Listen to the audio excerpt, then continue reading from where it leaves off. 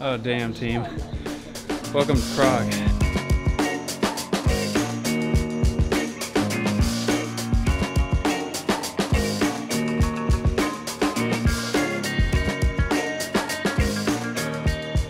Hey team, welcome back to another Levi's Save the World Hildebrand episode.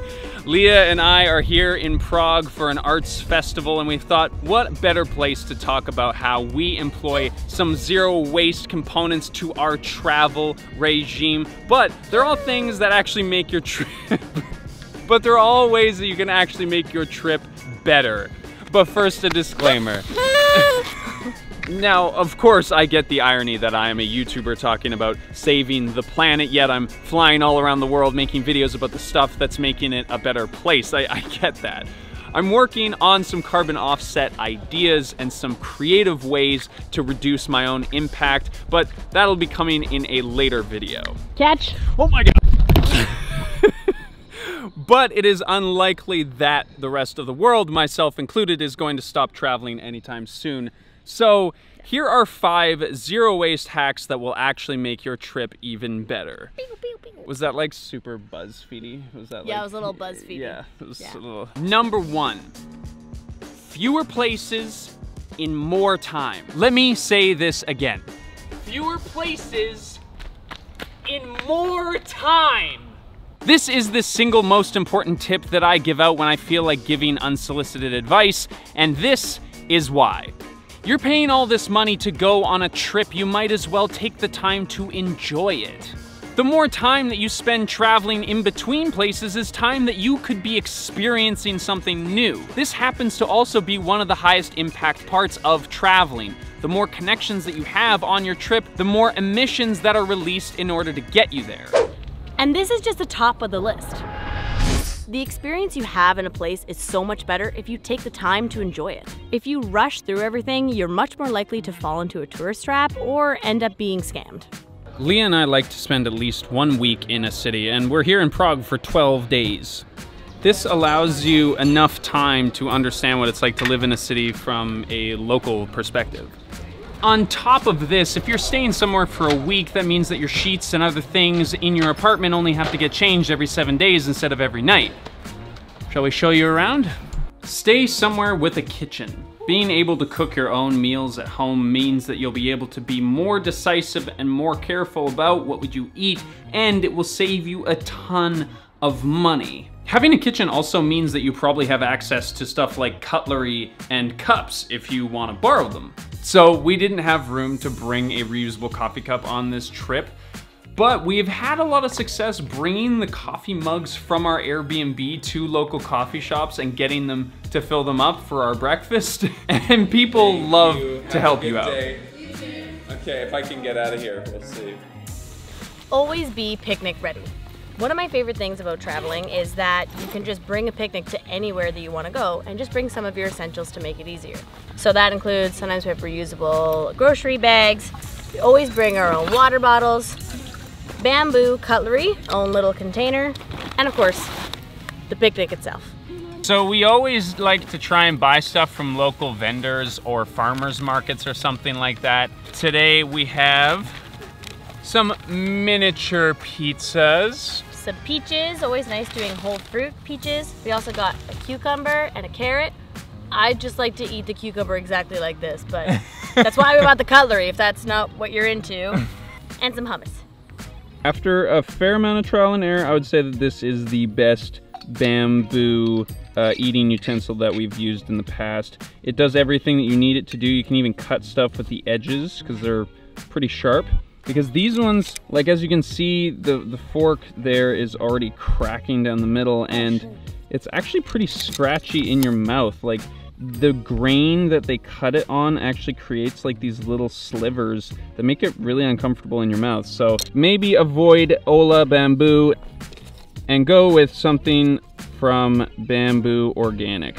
Number four, buy experiences, not things. I've talked about this whole subject in a previous video for Leah's birthday last year, but this applies especially well within the context of traveling. It can be super enticing to buy a memento or a keepsake from a country that you've visited. but often these things just end up sitting on a shelf somewhere in your house, never being used. On a side note, don't buy gifts for people from a place that you've visited. Nobody wants a t-shirt from Prague if they've never been there. Instead, use that money to have an experience.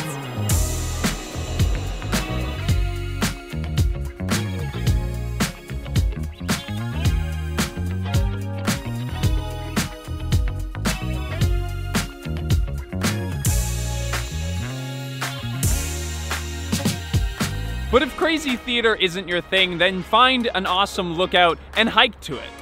That's the Petrin Tower, and it's a miniature Eiffel Tower that overlooks all of Prague.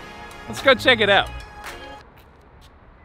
Oh dear God, that's gonna take forever. Um, number five, take public transit. Not only is public transit often the cheapest way to get around, but taking the bus gives you a local's perspective on the city and an opportunity for some great people watching. But the most efficient form of transportation wherever you are is your own power. If you can ride a bike, that's an amazing way to see a city. Or if you're brave like Leah and I, you can hike up to the Petrin Tower here in Prague. You just might get a little sweaty. Oh wow, there it is. If you're gonna go to the Petrin Tower, don't hike up the hill. To get to the Petrin Tower, just hike up the stairs. I mean, unless you're like us and you've been drinking Czech beer for a week. Whew. oh, damn, team. Welcome to Prague. Number six, pack like a minimalist.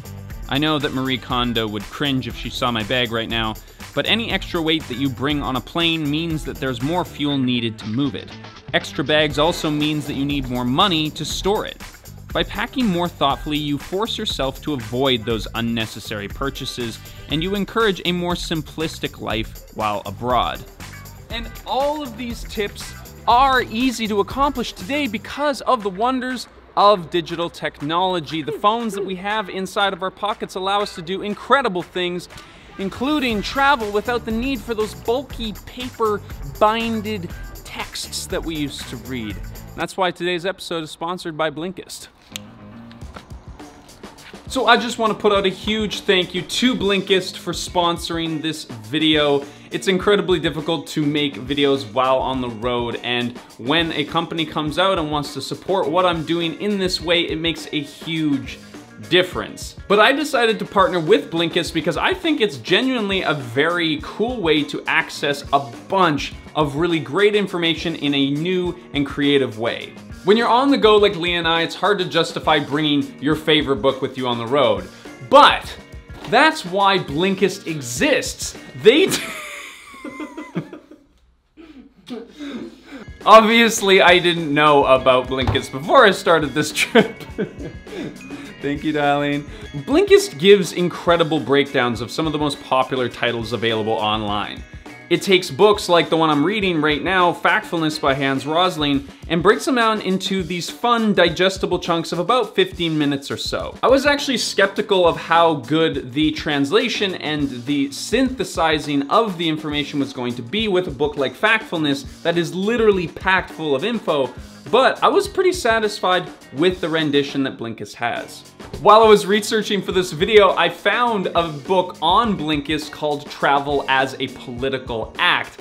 And that book reflects and mirrors a lot of the things that I've talked about in this video. So if you download the app, definitely check out that title. And so as you can probably expect, there's a little link down in the description for the first 100 members of the team to go and download their free trial to test this baby out. You can bail out of that free trial at any time with no cost to you. And if you do like the app and you wanna continue on with it, you get 25% off with the link. Just for hanging out with me once a week. But I hope that you got something out of this video other than an awesome discount on an awesome app. Leah and I are right at the end of our Prague trip, so we're gonna savor our last few moments, but I hope that you got something out of this for your next trip. If you have any tips and you think that I've left something out, leave a comment down below. And hopefully, if you're subscribed to this channel, we will see you in the next one.